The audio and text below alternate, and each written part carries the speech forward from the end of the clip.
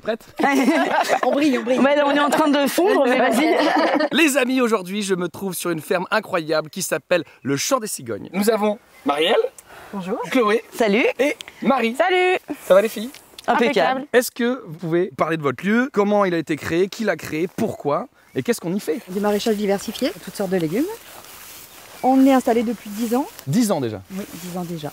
Bientôt 11 en fait, très bientôt même. On a commencé donc à deux officiellement, donc Marielle et moi, dans une- un autre champ de 3 hectares. Et du coup, cette parcelle-ci est arrivée avec euh, mon arrivée pour qu'on puisse avoir un petit peu plus de terre à exploiter. D'accord, parce que là, du coup, vous avez quelle superficie? En tout, ça fait 8 hectares. Toutes les deux, vous étiez au début? Ouais. Ok. Ensuite, Ma Marie était, elle était là, mais Marie n'était pas installée. C'est-à-dire qu'elle avait un travail à côté et elle pouvait pas s'installer parce qu'à l'époque, il y avait la surface minimum d'installation. Et du coup, on rentrait pas à 3 sur 3 hectares. Donc on a cherché à s'agrandir et on a trouvé ce champ-là. Et ça a été un an et demi après, ça a permis l'installation de Marie dans la foulée. Est-ce que toutes les trois, vous êtes euh, issues du milieu agricole ou pas du tout? Non, Pas du tout. Aucune de trois? Moi, j'ai grandi dans une ferme avec des vaches dans le Nord-Pas-de-Calais, Vache euh, à viande, laitière euh, laitières, mais j'avais pas du tout en tête de, devenir faire ça agricultrice, non. Ah ouais. Voilà, j'avais mis ça de côté depuis longtemps. Voilà. C'est enfoui au fond. C'était enfoui, c'était pas si loin que ça, finalement. Et vous autres? Eh ben non, pas du tout. Euh, Moi, j'ai grandi dans la banlieue de Caen, euh, donc euh, en appartement la plus grande partie de mon enfance. Ouais. Et euh, le milieu agricole, en fait, je le connaissais euh, pas. Pas du tout. Non, ça s'est fait au fur et à mesure, mais euh, jeune, non. Pour ma part, euh, non plus, pas du tout euh, du monde agricole. Euh, ça a d'abord été euh, plutôt un boulot alimentaire et du coup qui m'a bien plu. Donc euh, je me suis formée euh, pour devenir euh, exploitante. Et vous avez eu quoi comme vie avant? Ou est-ce que vous êtes tout de suite lancé là-dedans? Moi, j'ai été, j'ai fait les beaux-arts et j'étais prof d'art plastique au collège. Ah ouais Avant d'avoir ma première fille et de me dire, je veux euh, vivre, passer ma vie dans un jardin. Tu as un grand jardin maintenant. Avec un très grand jardin qui me fait grandir. Moi, j'ai passé longtemps à la fac, euh, très très longtemps. J'ai fait un master d'intervention sociale, entre autres. J'ai passé 8 ans à la fac. euh, pas faire grand chose en fait. Dans le cadre de mon master, j'ai, parce que je bossais en insertion, l'insertion par le maraîchage s'est très développée, surtout en Bretagne, j'étais en Bretagne. Et c'est comme ça que j'ai découvert moi le, le maraîchage en fait. Et petit à petit, euh, l'insertion m'intéressait de moins en moins et le maraîchage de plus en plus, jusqu'à arriver euh, là. Et Marie? Un projet euh, d'installation euh, est vite né après euh, mes études. En fait, j'ai pas du tout euh, bossé dans le domaine dans lequel j'ai été formée, parce que je suis technicienne de labo. Et du Ah coup, ouais. un boulot plutôt euh, voilà, dans un petit endroit euh, confiné. Donc euh, non,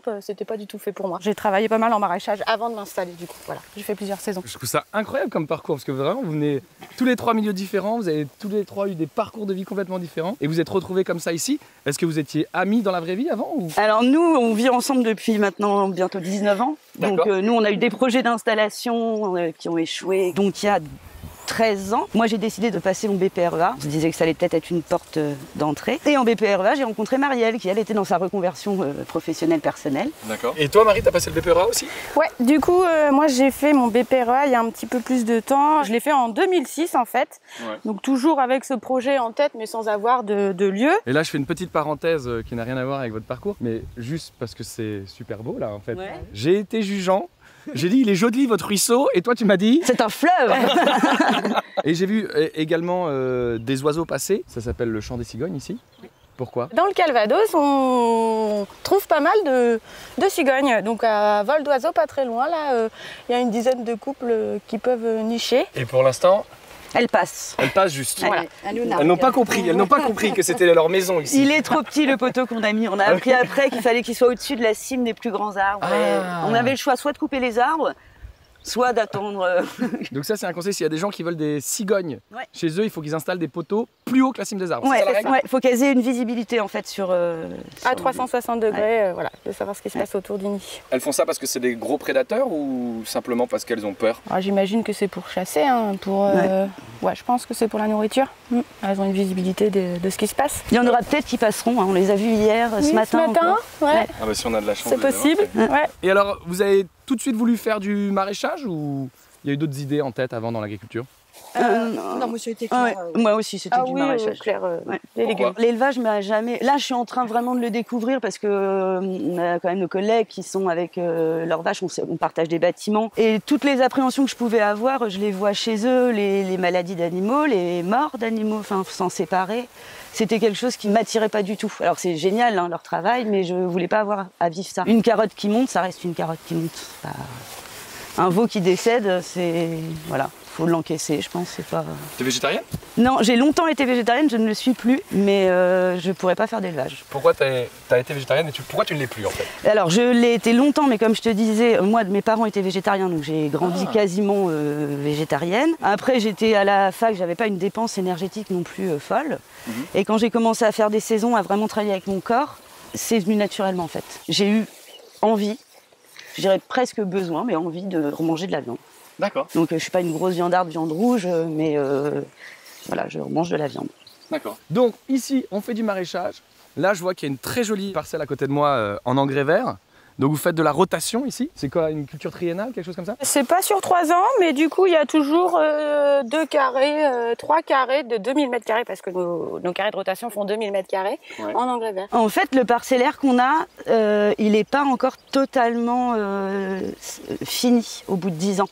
Parce que comme on a d'abord eu un champ, après on a récupéré ici, après on a récupéré la- le l'autre carré qui est derrière toi, tous les ans on prend 2000 mètres carrés de et on remet du coup 2000 mètres carrés au repos. La ferme fait 8 hectares, mais on exploite euh, 3 hectares et demi, à peu près. Voilà, c'est ce qui Voilà. permet vraiment de Ouais. faire ces rotations Voilà, de 2000 voilà. à chaque fois. Voilà. Donc vous, vous travaillez par planche de 2000 m carrés. En gros, ouais. Ouais. Qu'est-ce qu'on fait euh, pousser le mieux ici? C'est une terre à quoi? Tout ce qui est feuilles, les choux, les épinards, les poireaux, tout ce qui est vert. Et je rebondis aussi euh, sur euh, la question d'ailleurs euh, euh, du terrain, le foncier. Vous me disiez tout à l'heure que c'était compliqué aussi pour vous de, de trouver du foncier On me disait, on a mis euh, ouais, 5-6 ans avant de finir par euh, réellement s'installer. Encore, Marie, finalement, elle a attendu encore un an et demi qu'on trouve cette parcelle. Ici, on est en concurrence avec euh, les éleveurs qui ont des besoins de la même surface que nous. Il vaut mieux des fois chercher 100 hectares que 5 hectares en fait. La plaine céréalière de Caen c'est des énormes structures, les haras dans le pays d'Auge. Les gens ont des chevaux, Oui, ouais, voilà. ça peut poser problème, ouais, qui ont besoin de la même taille de, de structure. On a récupéré une exploitation qui existait déjà. François euh, exploitait depuis 5 ans. Ouais. 5 ans. Et lui, il a pu s'installer parce que l'éleveur de l'époque, un jour, a dit Mais c'est, j'ai, de l'eau, j'ai une belle parcelle. Je vais mettre une annonce, dire cherche maraîcher qui veut s'installer. euh, parce que lui, c'est venu de sa, de sa part, en fait. C'est 3 hectares de les dégager pour du maraîchage. Et ici, on a pu acheter parce que c'était le terrain de la grande maison qui est là-bas. Et les gens voulaient pas forcément un grand terrain comme ça. C'est très compliqué de trouver 5 hectares de- pour faire du maraîchage. Là, du coup, vous êtes propriétaire des 8 hectares? Alors là, t'es chez Marie. Là, t'es chez moi. Et là-bas, t'es chez Marielle. Voilà, là-bas. On met tout à disposition du GAEC. Et L'autre parcelle que t'as pas vue, on est locataire. D'accord, donc vous êtes propriétaire, mais chacun a sa petite parcelle. Voilà. Et Voilà. vous avez, un- en fait, vous travaillez sous forme de GAEC. Oui, on a un GAEC. ouais. Est-ce que vous pouvez expliquer aux gens ce que c'est qu'un GAEC et quelle est l'utilité d'un GAEC Alors un GAEC, déjà, ça veut dire euh, groupement agricole euh, D'exploitation en- d'exploitation en en, commun. La base même, donc juridique et légale du GAEC, c'est qu'on donne toutes les trois la même force de travail dans notre exploitation.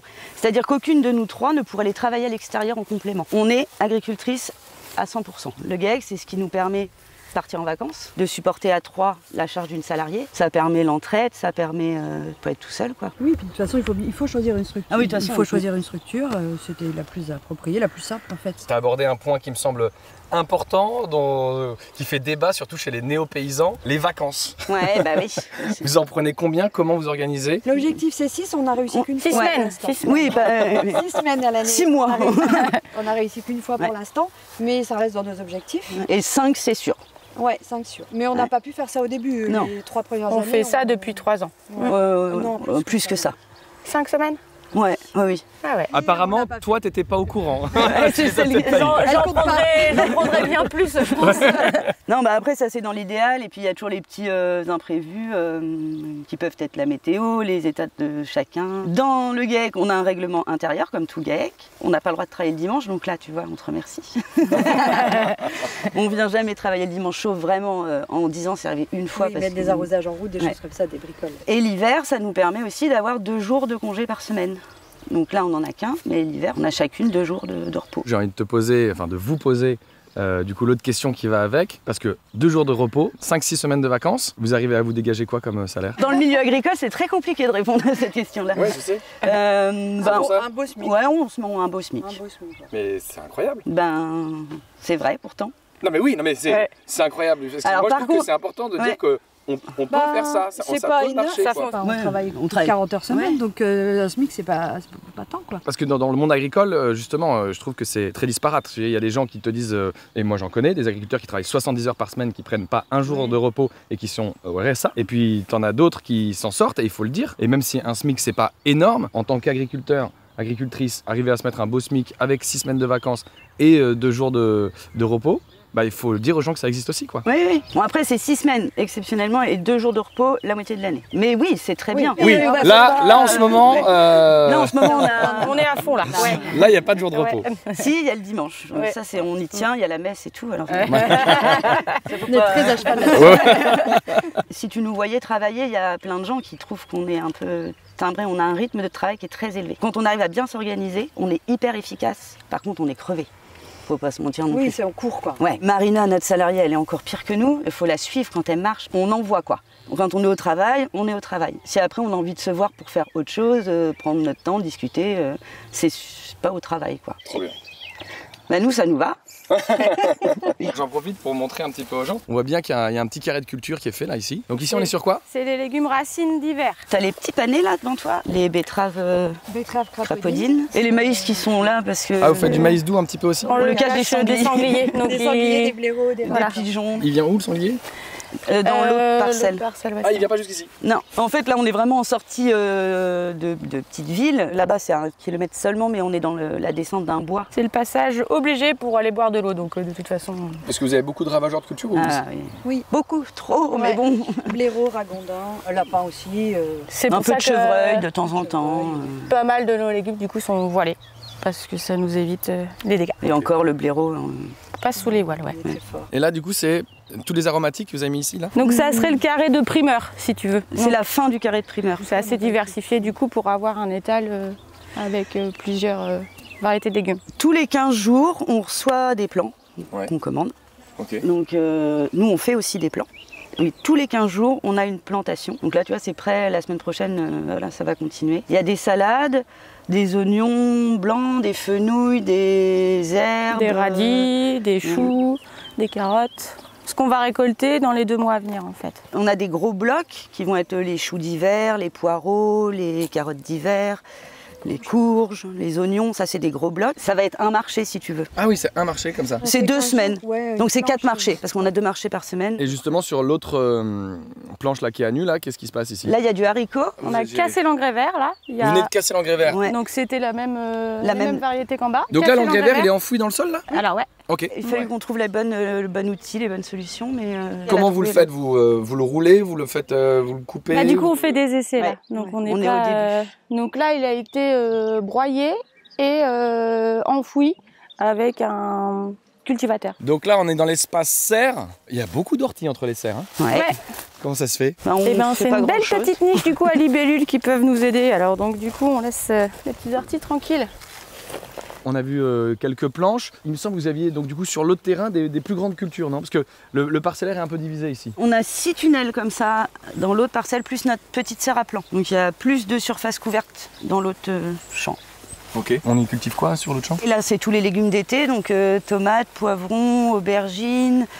Euh, on a encore les carottes primeurs qui sont dedans. Petit pois mange tout aussi, c'est un peu la fin. Melon, pastèque. euh, Qu'est-ce qu'on a dans le tunnel Courgettes. Haricots, Ah oui, il y a des courgettes. courgettes. Quand on est passé dans les, dans les tunnels, là, j'ai vu des calendulas. À qui on vend ça, des calendulas? On vend ça aux petits restaurateurs.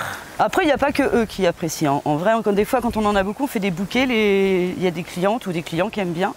Mais les petits restaurateurs qui passent en début de marché aiment bien repartir avec leurs petites fleurs pour décorer leur- leurs assiettes. ouais. Ouais. De manière générale, c'est quoi vos circuits de distribution? De grands marchés semaines le samedi, donc dans des grandes villes euh, qui sont euh, à côté de chez nous, Caen et Lisieux. Ensuite, on a notre petite vente à la ferme le mardi soir de 16h30 à 18h30 à Mésidon-Calon. Et un peu de biocop et deux AMAP. Aussi quelques restaurateurs, mais qui viennent sur nos marchés. C'est-à-dire, ils se déplacent sur les marchés. D'accord, t'as pas besoin de les livrer. on est des Voilà. princesses. Oui, j'ai vu ça en arrivant. Souvent, l'installation euh, paysanne, ça peut faire peur quand on n'est pas issu du milieu agricole. Encore plus quand on est une femme. Comment ça s'est passé pour vous? J'ai fait un BP, j'ai fait mon stage chez un jeune agriculteur, bah, un jeune maraîcher, et il a dû arrêter pour des problèmes de santé. Et en fait, on va dire c'est très malheureux pour lui, mais ça a été en fait euh, le départ de notre installation à nous, parce qu'il m'a proposé euh, de reprendre sa ferme. Donc c'était euh, plutôt euh, voilà un bon accueil. Il n'y a pas eu de problème qu'on soit des filles ou qu'on soit pas né ici, euh, Oui, il y a ça aussi. En plus, vous n'êtes pas de là. pas du tout. Enfin, pas, pas si loin. La Mayenne, Non, pas si loin, mais pas euh, Mésidon. On, on venait jamais euh, voir ce qui se passait à Mésidon. On connaissait pas en fait. hein. Pas de réseau à l'installation. Voilà, ouais. Euh, il a fallu créer le petit réseau euh, en arrivant et en s'installant. quoi. Donc on a eu des super, mais vraiment, je pense à. Bon, c'est horrible de pas tous les citer, mais je pense à Jean-Marie qui va venir faire la circulation en arrivant là, qui est un, un éleveur laitier qui a pris sa retraite quasiment quand nous on s'est installés. Et Jean-Marie, euh, il a appris à Marie euh, comment euh, fonctionnait tout l'intérieur de son tracteur. Ils l'ont désossé dès formé, qu'il a- euh, Sur la mécanique. Il Ouais. y a passé des heures et des heures, il nous réparait à chaque fois les choses tout en formant Marie. C'est-à-dire que maintenant, elle n'est pas au niveau de Jean-Marie. Ah bah non, non, j'y serai jamais d'ailleurs. Mais Marie, on, on peut dire que t'es un peu mécano aujourd'hui. Ouais, ouais, je me débrouille, ouais. Ouais, ouais, ouais. Trop bien. Et c'est vrai que quand tu t'installes, tu as un problème de tracteur, c'est tout de suite des gros billets à sortir. Et là, Jean-Marie, euh, il venait, il passait du temps avec nous, plus la formation. Ça n'a pas de prix, des rencontres comme ça. En s'installant en maraîchage, ça demandait quand même pas mal de savoir-faire. Et donc, même si on avait quelques années d'expérience avec les légumes, il faut quand même toucher un petit peu à la mécanique, à la plomberie. Du coup, quand on n'y connaît rien, bah, c'est quand même pas mal d'avoir des gens euh, autour de soi euh, pour nous filer la main, quoi. il a jamais voulu qu'on lui donne d'argent, qu'on le paye, mais il nous a dit ben par contre je compte sur vous, que quand vous, vous, vous saurez faire des choses, vous les passiez. Voilà. Donc, en tout cas, c'est tout ce qu'il nous a demandé en retour. Une super belle mentalité. Une belle leçon. On a été relativement, même très très bien accueillis euh, à Mésidon. On a rapidement mis en place la vente qui a aussi permis de rencontrer un peu les gens. Et on va dire les deux premières années, on vendait que sur nos marchés. La troisième, on a commencé à vendre un peu sur place. Je trouve qu'on est vu d'un bon œil. Les gens sont respectueux. Quand on a pas mal de problèmes de vol, ils sont solidaires. Maintenant, chacun surveille. Des fois, je reçois des coups de téléphone s'il y a une voiture de garée dans notre champ. Au bout de dix ans, on a fait notre petit réseau Oui. dans la commune de Un petit mot de la fin? Un petit mot de la fin, c'est compliqué. Hein Ouais. Des petits mots de la fin alors. Ouais. Euh, Attends, je, je- je lance comme ça, moi je vous lance. Bah si, on peut Euh. peut-être rebondir sur Mési dans le panier si ça te dérange pas. Bien sûr. Ouais. Eh ben merci. Attends, c'est moi qui moi. Ah pardon, excuse-moi. Non, bah, je vais pas prendre ton boulot. Je voulais pas tellement le faire. Les filles, merci infiniment de m'avoir accueilli chez vous, de m'avoir partagé tout ça. Est-ce que vous avez un petit quelque chose à rajouter pour les gens qui nous suivent? Eh ben merci à toi de t'être déplacé, à toute l'équipe. Nous, ça nous permet de lancer notre association de producteurs, Mési dans le panier. Notre premier vrai marché de producteurs, il est tout de suite là, dans une demi-heure, et on espère euh, créer plein de nouveaux événements, que les gens de Mésidon viennent, qu'on vive tous plein de belles choses ensemble. C'est super. Merci les filles. Et longue vie à la ferme des cigognes Merci. Merci. Merci d'avoir regardé cette vidéo, j'espère qu'elle vous a plu. La prochaine date de mon spectacle au Grand Point Virgule, c'est le 11 novembre. Tu peux prendre tes places, le lien est dans la description. Et moi je te dis à la semaine prochaine pour une prochaine visite de ferme. Ciao